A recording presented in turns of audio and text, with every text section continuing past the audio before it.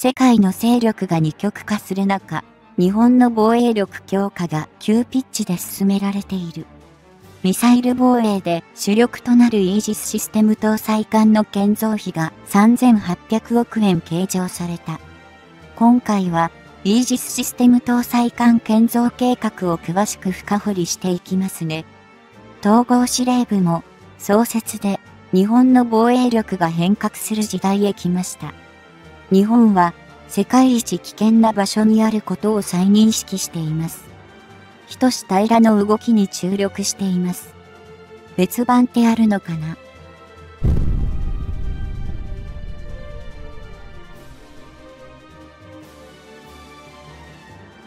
？2022年12月、日本政府は国家安全保障戦略、国家防衛戦略、防衛力整備計画の新たな安全保障関連3文書改定の上で閣議決定を行い、これらに基づく防衛予算の大幅な増額を政治的な決断として推進した。これによって、2023年度から2027年度までの5年間の防衛予算の総額は43兆円に達する見込みとなり、最終的には対 GDP 比で2%を掲げるなどを基準の軍事費の比率に日本も準拠する形となったとめされている。単年度で見た場合、今回の初年度となる2023年度の防衛予算はおよそ6兆8219億円だったが、さらに2027年度には同7兆7385億円へと増加することが概算要求で打ち出されており、13%以上が増える計算である。従来まであれば、ここまでの大幅な防衛予算の増額が閣議決定される公算は低かったと思われるのだが、そこには、やはり、2022年2月に正規したロシア・ウクライナ戦争が大きく後押しをしたと考えるべきなのだろう。このことが日本にとって防衛予算の増額という国民的なコンセンサスの形成に与えた影響は多大だと感じるが、その張本人のロシアをはじめ、日本は北朝鮮、中国といった仮想敵国に海を挟みながらも直面している。切れ、故に、防衛予算の増額という問題に関しては、かつての旧ソ連の自然崩壊に伴う世界的な軍縮の機運からは、大きく方向転換を行ったわけであり、それらの時代を引きずる左派系の論者たちからは、一様に批判が噴出している。だが、個人的に箱を置いたロシア・ウクライナ戦争の世紀を目の当たりにせずとも、各種の新型ミサイルの発射を繰り返す北朝鮮は、元より中国軍の軍備の拡張は目覚ましく、従来通りの対応で日本の防衛力が維持できたとは到底思えない。さて、そんな日本の防衛予算の人だが、2024年度分の7兆7385億円の中には、今後の日本のミサイル防衛の柱としてのイージスシステム搭載艦の建造費や、自衛隊全体を統括する統合司令部の創設にかかる費用も盛り込まれている。後者の自衛隊の統合司令部の創設とは、現在の陸上、うながみ、航空の3自衛隊の指揮統制機能を常時一元管理する目的で行われるもので、現防衛省がを構えている新宿区の一の谷に新たに設置する方向となっている。この統合司令部の設置に際しては、現行の陸上、うながみ、航空の3自衛隊の組織体系の変更も必要になるため、来年2024年に開催される通常国会においても、関連法である自衛隊法の改正案が出され、可決書きとされている。統合司令部の設置の大きな目的は、南西諸島譜面への中国の軍事的な圧力の増加に対処することにあるとめされ、想定される台湾への中国による武力侵攻が発生した場合、陸上、うながみ、航空の3自衛隊と在日アメリカ軍との連携を密にするものと思われる。現在の新宿区の一の谷には、すでに防衛省の本省と陸上自衛隊の一谷駐屯地等が置かれているため、季節の建物等を増改築することで、およそ300名ほどの体制とされる統合司令部の人員をそこに集中配置するものとみられている。こうした陸上、船上、航空の3自衛隊を統括し、在日アメリカ軍との連携を強化する統合司令部の設置についても、一部からは批判の声が浴びせられているが、すでに2022年に日本の排他的経済水域内に中国軍の短距離弾道弾が着弾した事態を忘れるわけにはいかない。現在の中国の共産党政府は台湾を自国の革新的利益と称してはばからず、万が一にでも台湾への武力侵攻を始めるとするならば、それを阻む可能性のある沖縄の自衛隊や在日アメリカの基地は高い確率で攻撃の対象となるだろう。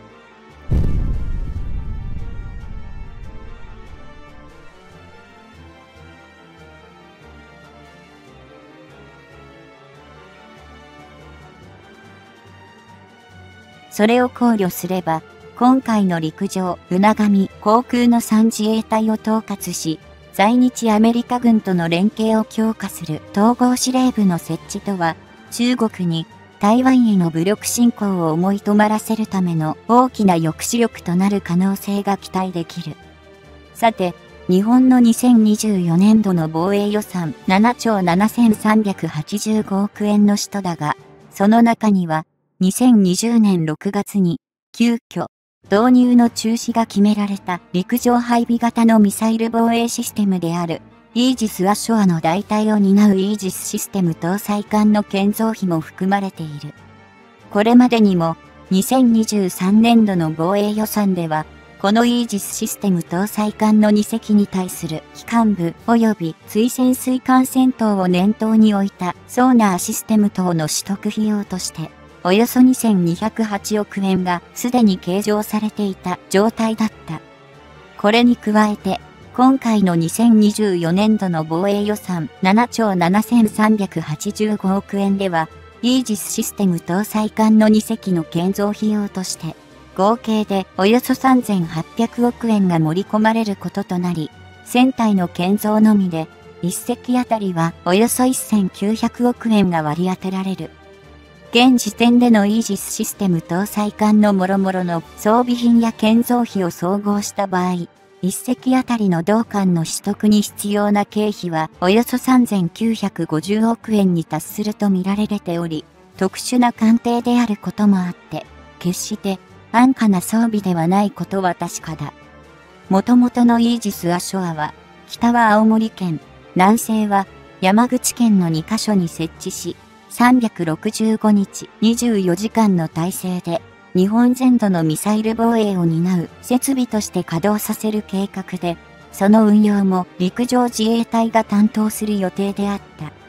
これにより、2023年時点では、海上自衛隊が8隻を保有、運用しているイージス護衛艦8隻による日本のミサイル防衛体制は抜本的に刷新され、高価で貴重な同艦をその任務から外し、南西諸島方面への展開を容易にする狙いがあった。しかし、イージス・アショアは、導入予定地の青森県や山口県の地元への説明回答も進められていたにもかかわらず、発射後にミサイルの加速を担うブースター部分の落下地点の制御が困難であるとの事実が判明する。イージス・アショアのミサイルのブースター部分の落下地点を安全な地域に制御するには、大掛かりなプログラム改修が必要であると判明。これを改善するためには、プログラムの改修に時間も費用も必要であると結論された。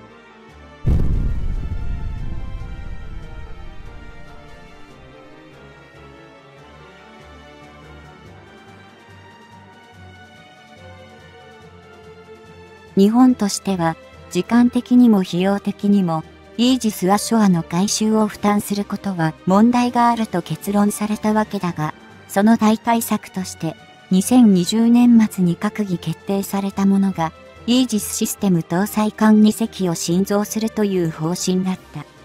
この苦肉の策とも言うべきイージスシステム搭載艦2隻の新造という代替策は、当初より365日24時間の体制で日本全土のミサイル防衛を担うとされたイージス・アショアに比すれば、艦艇ゆえの問題点が指摘されていた。